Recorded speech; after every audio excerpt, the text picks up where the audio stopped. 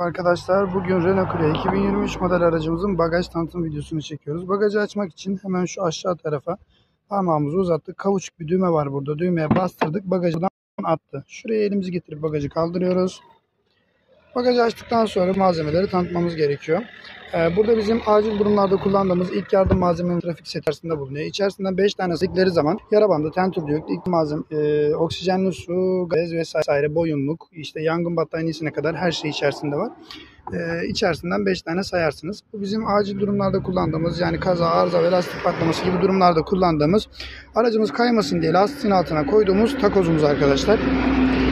Burada bizim bir adet yangın söndürme tüpümüz var. Yangın söndürme tüpünde barometreye dikkat etmemiz gerekiyor. Barometrenin yeşilde olması gerekiyor. Eğer tüp doldurulmuş bir tüp ise şurada etiketin sol sağ tarafında şurada dolum tarihi şurada da son kullanma tarihi yazar arkadaşlar. Bunlara dikkat etmemiz gerekiyor. Ee, Burada bizim aracımızı çekmek için kullandığımız araç çeki halatımız bulunuyor. Hemen burada bizim reflektörümüz var. Reflektör üçgen şeklinde. Reflektör videosu zaten e, kanalda var. Oradan izleyebilirsiniz. Reflektör e, şehir içi alanlarda kaza, arıza ve lastik patlaması gibi bir durum başımıza geldiği zaman aracın 150 metre mesafeden gözükecek şekilde 30 metre arkasına ve önüne konulur.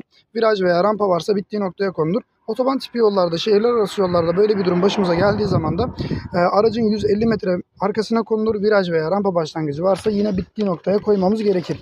Arkadaşlar eskiden bu araçlarda, önceki araçlarımızda hala mevcut. Bagajda istepne yedek lastik yani e, Kirko ve bijon anahtarı da bulunurdu. Ama artık Renault Clio 2023 modellerde bunun yerine acil durum kiti koymuş. Burayı kaldırdığınız zaman buranın altında sadece ve sadece bir adet sandık var. O sandığın içerisinde çakmakla bağlanan e, ve hava basmasını sağlayan bir pompa var. Yanında da bir adet lastik sütü var. Lastiğin içine sıkıyorsunuz ve çivi deliklerini kapatmasını sağlıyor. E, yani patlağı gidermiş oluyor. Ama hocalar sorduğu zaman normalde ne olması lazım diye hocam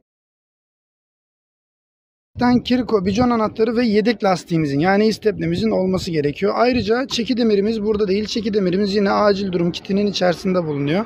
Bir adet halkalı çeki demirimiz var. Çeki demirlerinin nereye takıldığını sorarlarsa da şu arkada bulunan kapağı açıyoruz. Aynısından ön tarafta da var. Bu kapağın içerisinde çeki demirinin vidalandığı bölüm var. Oraya vidalayarak çeki demirimizi kullanıma hazır hale getirmiş oluyoruz arkadaşlar. Herkese başarılar dilerim.